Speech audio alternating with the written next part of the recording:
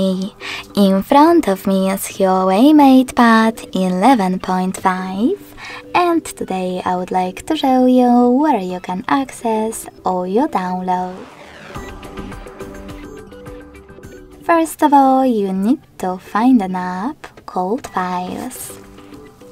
When you find it, click on it.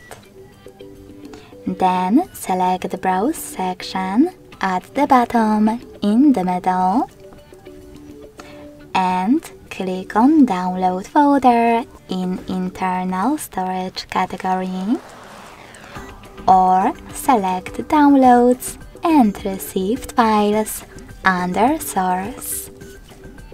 Then tap on Download Manager.